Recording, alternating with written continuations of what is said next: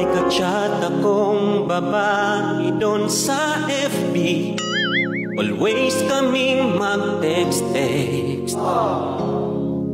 At night kami mag-call. Nilihim ko ito sa aking darling. At nagpalit ng pin ko. I said my password's wrong. Nagtatanong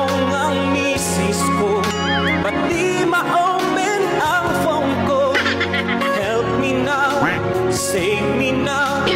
I don't want to give my password. Bakit naka-change ang password mo? Para di mabuking yung nag I love you Daming lusot at reason